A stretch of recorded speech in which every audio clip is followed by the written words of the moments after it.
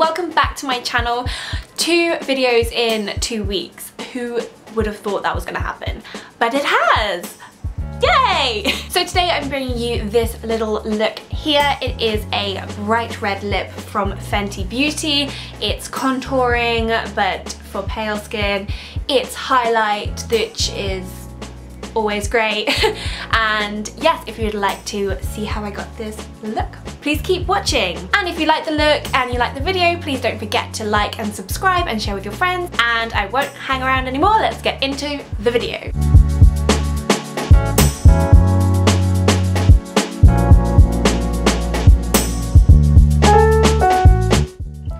Cleansed first using the Nivea Micellar 0% Residue Micellar Water. Then I toned using the Origins A Perfect World Age Defense Treatment Lotion. And today I also prepared my skin for makeup by using the Simple Hydrating Booster Water Boost thing. and I also used the Origins Ginseng Eye Cream. And Vaseline on my lips. So today I'm going to be using this foundation by The Ordinary. It's their high coverage coverage foundation and it's in the shade 1.1N so fair neutral. And I'm using it with a damp beauty blender sponge thing. This one's by Real Techniques. So I'm going to start by using about this much. I'm just going to bounce this right into the skin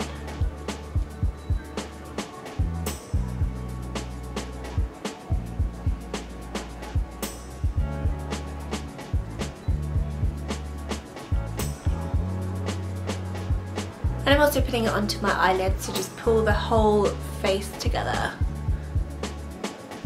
I just like to really, really work the foundation into my skin. Just keep bouncing a beauty blender or sponge or whatever you're using into your skin to really marry it to your actual face. And that's just gonna make it look more skin-like, even if you're using a high coverage foundation like this one let's move on. So next I'm just going to use some concealer to cover up any blemishes. I'm using the Lasting Perfection concealer in the shade number one Fair, my old faithful. So literally just anywhere I've got any kind of blemishes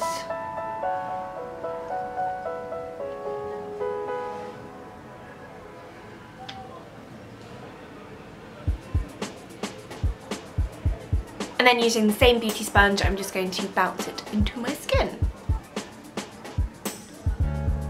I'm so excited because Collection have brought out a new shade in the Lasting Perfection in Zero Extra Fair and I feel like this is going to be the perfect highlighting shade for me. So number one Fair is essentially my skin tone. Um, it's slightly lighter when I'm really tanned. I say really tanned. I'm very pale. I go freckly, not tanned. But I think especially going into winter, this is gonna be the best shade. So the difference in shades is, is enough. I'm just very excited to actually finally try it. I got it today, so hopefully it's not like super white, but let's give it a good go. So I'm just going to do this under my eyes. Oh, that's perfect. Ooh,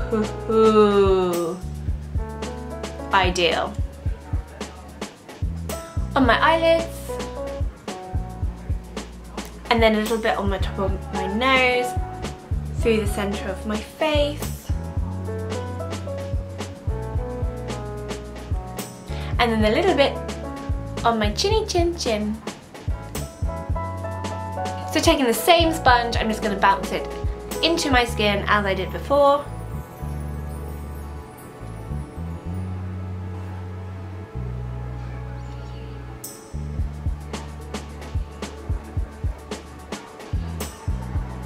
Absolutely magical.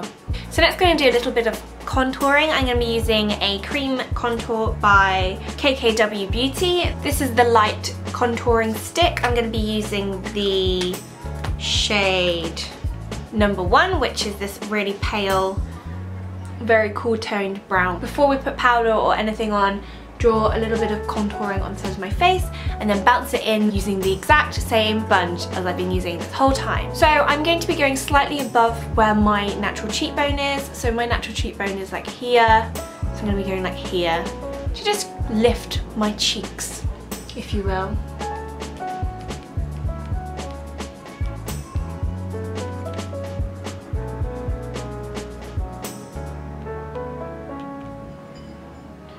That's the shape of the contour I'm going to be using and working with. I'm going to bounce it in and using upwards motions so that I'm not dragging that, that contour down my face.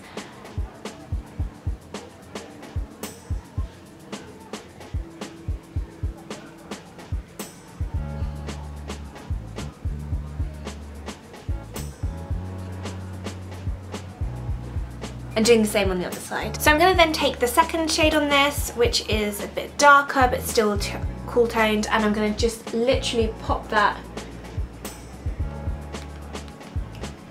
right in where my cheekbone is. And again, just bounce that into the skin.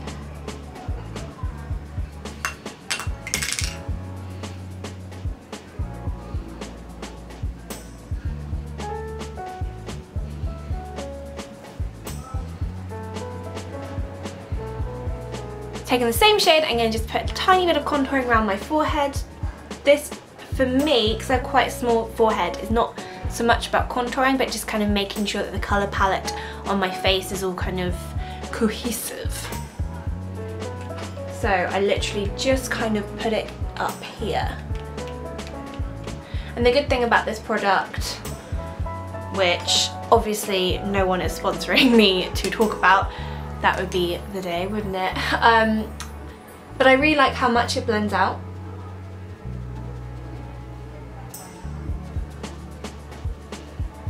It makes it really easy to work with. The final kind of cream contouring bit I'm going to do is on my nose. Oh, why is this wet? Ugh. I'm going to go back in with the first shade, which is the cooler toned, and it's lighter as well. And I'm going to put very, using a very light hand, I'm going to just take tiniest bit. I'm gonna zoom you in for this. Whoa! so you can see it's not even going all the way down my nose, it's just the tiniest bit. Um, and then I'm gonna dab that away. Or blend, not dab it away, obviously.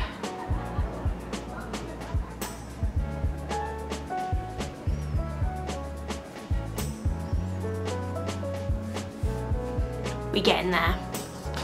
Mm. Okie dokie, we can move on to powder. Now again, I'm using my Laura Mercier Translucent Loose Setting Powder and I'm using, I'm so excited to say I'm using two brushes and I've lost one of them. So we're only going to be using this one, which is of course the Real Techniques Fluffy Powder Brush. So I'm going to first off use a very light hand, putting a tiny bit on the under eye.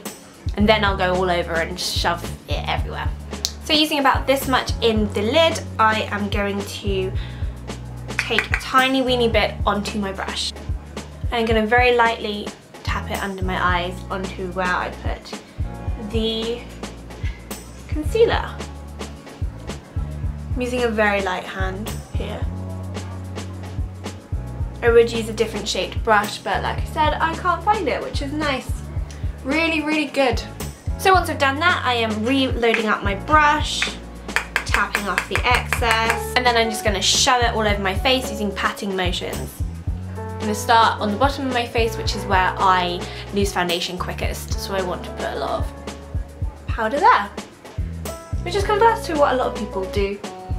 Because a lot of people have oily T-zones and I don't.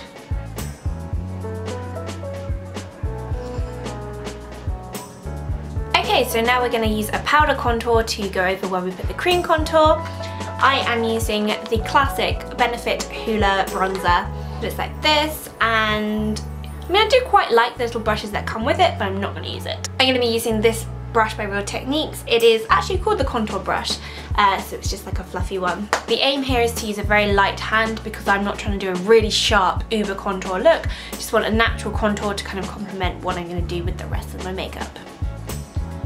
So,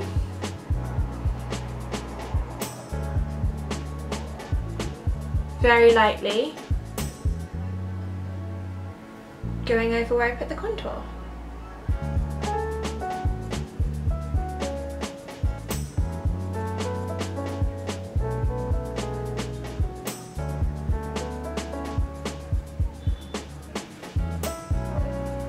I would rather start with too little product and build it up than start with too much and then have to try and work with that. Because it's so much easier to add product than to take away. and also it can look more airbrushed and more diffused if you've got layers of carefully applied makeup than if you just shove it all on at once and then try and carve something out of the shock horror that that can create.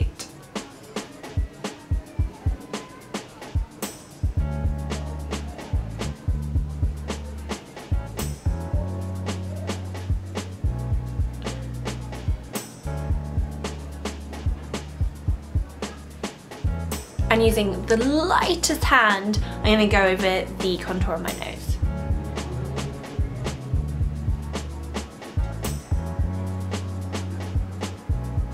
So you can kind of see how that looks.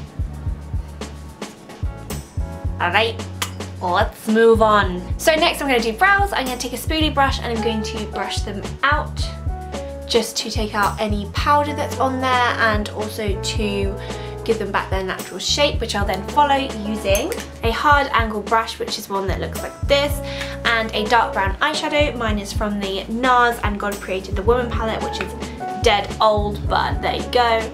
Looks like this. And I just load it up and shove it on, to be honest.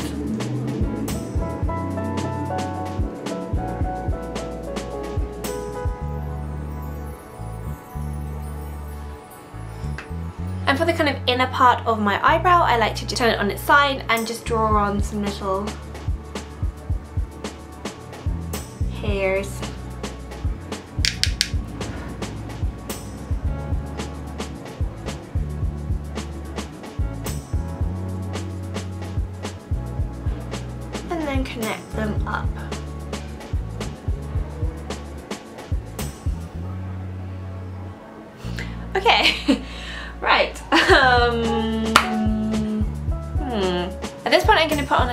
Blush. Um, I'm using a very light hand again because I want the kind of contoury bronziness to kind of be the main event of the face. Um, I am using a Real Techniques blush brush and MAC blush in Peachy Keen I think it's called. So it's this dark pink colour. I'm just going to dip it once in the pan tap off the excess and I'm just going to put a little bit kind of along where I put the contour and then putting a tiny bit on the apples of my cheeks.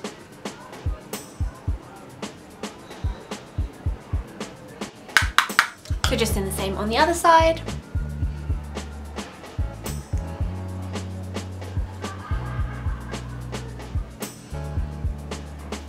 Bueno. So next I'm going to do eyes. I'm going to do a very simple eye look today, but this is what I'm going to do. Come closer. I'm going to take a Sigma E40 tapered blending brush, which is like one of these fluffy brushes, and I'm going to take from the Naked 2 palette the colour Tease, which is this colour. It's a cool toned brown and it's going to be really good for my purposes. So I'm literally going to take just a couple of dabs of that and I'm going to put it above my crease. Just blend it in there or on there even.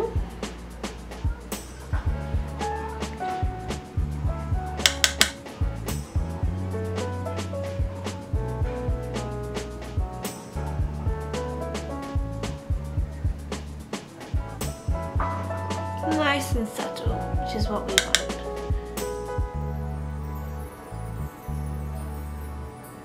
I have hooded eyes so I kind of like things which are going to make my eyes look bigger and because this is a darker colour it's going to create that illusion of a maybe higher crease. Uh, we'll see what it ends up like but it will make my eyes look bigger.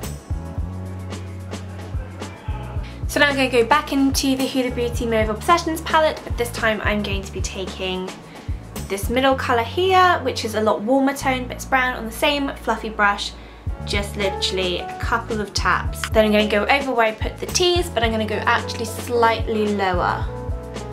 Just slightly. So nearer my natural eye crease.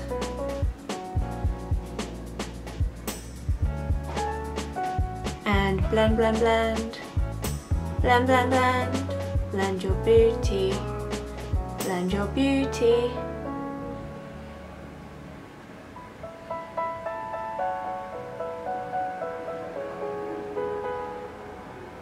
So going back to my E25 blush, I'm going to be taking from the Naked Heat palette the colour Cayenne, which is this really dark, rusty colour. Just take the tiniest, weeniest little bit onto the end of the brush. Make sure it's only the tiniest amount on it. Then I'm going to literally shove it right in there and then just drag it around to kind of deepen my crease, which sounds like it's a recipe for disaster, but we'll see how it goes.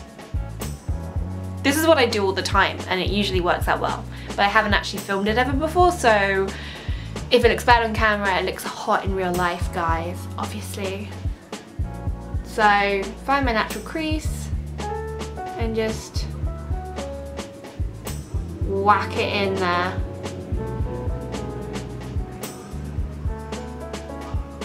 Like so. So next, going back to the taper blending brush, I'm just going to blend that all together. And make sure there's no harsh lines. And it's just one continuous kind of sweep of colour. And then to complete the eyeshadow, I'm going back into my Naked Heat palette and I'm going to take the colour Ounce, which is this colour. It's a kind of slightly shimmery, very pale colour, which is very my vibe. And I'm taking it on the end of a flat brush and I'm just going to as always load up my brush and I'm just going to sweep it onto the lid where my eye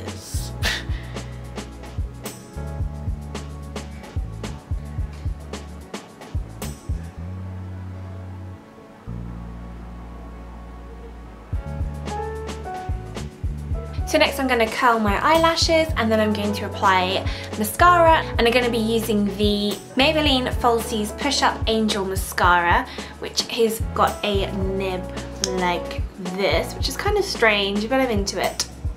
So I'm going to use it. I always curl my eyelashes for about 20 seconds.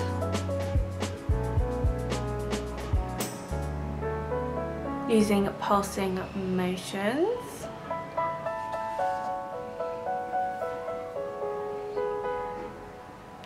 I always go from the top first and then onto the bottom.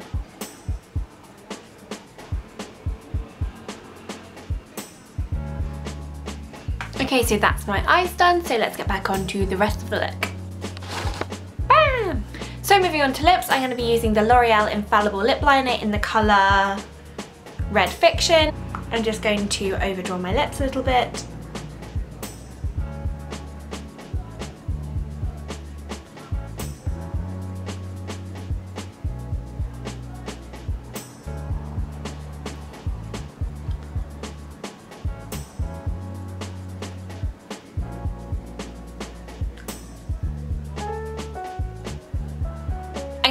Fenty Beauty lip paint in the colour Stunna, which is a stunning red colour. Looks like a little like nail varnish or something. It's like this tiny little applicator. So,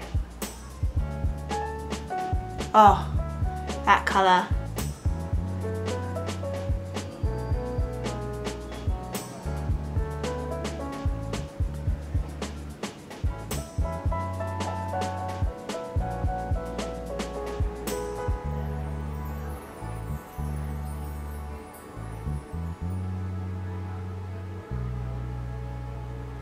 This colour is just absolutely everything. Everything. Oh, just, it's just the bomb. Oh, it's the dream. It's the dream. We're almost finished with the look. I just need to do some highlight and some setting spray and we're good to go. So for highlight, I'm gonna be using one of my favorite products. It is the Maybelline Master Strobing Liquid by Face Studio. My favourite one is the iridescent colour, I just think it's absolutely divine, but this one in the colour medium nude is like golden and it will just look so good with the rest of this look, I think. I'm hoping, I'm sure. So I'm going to be taking about this much, which is tiny, right on the end of the pointed end of the beauty sponge. So it kind of looks like that. And I'm literally going to put it on the tops of where the light hits my cheek. Now, For kind of everyday look, like this colour is too dark. If you're literally using it for kind of strobing effect. But if you're kind of trying to tie it into a kind of gorgeous, glowy, bronzy look, this colour can even work on pale skin. Pasty ass pale skin like my own. Just make sure you blend it a lot. So to finish off the highlighter, I'm going to be using the Urban Decay Naked Illuminated powder. This is in the colour Luminous, which looks like this. And it's very glittery and is just one of my favourite. Honestly, just pure glitter. Nothing wrong with that. So I'm going to take it, I'm going to take it from the brow bone up into the temple and then down onto the cheek. Because I had Rihanna does her highlighter that way and everyone wants to be Rihanna, obviously. So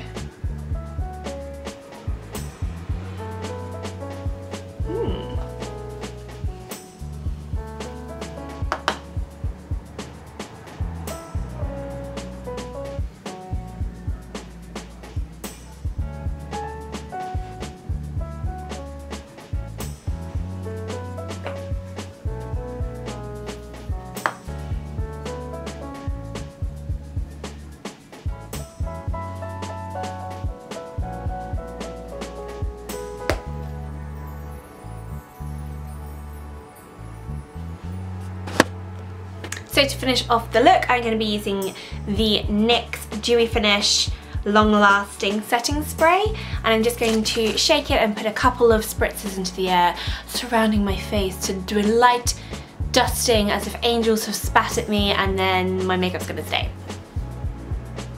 Is that a thing? So oh, beautiful, stunning beautiful. Broken. okay, so I'm gonna just take you on a little tour of my face. So that is the finished look.